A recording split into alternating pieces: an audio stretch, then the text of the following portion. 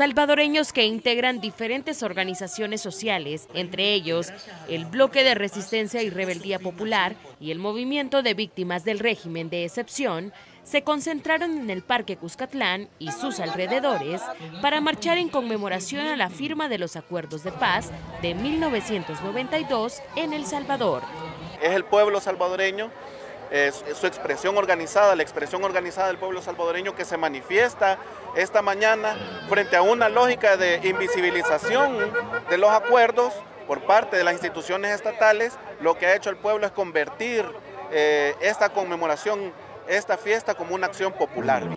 A la marcha que salió rumbo al centro histórico de la capital, se sumaron personas del movimiento de víctimas del régimen, quienes exigieron libertad y justicia para sus familiares detenidos de forma arbitraria durante el régimen de excepción.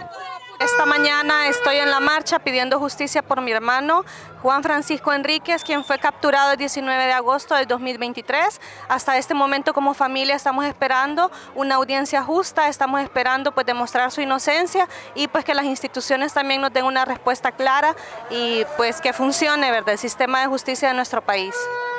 La marcha finalizó en la Plaza Gerardo Barrios, donde se recordó a las personas que lucharon durante el conflicto armado.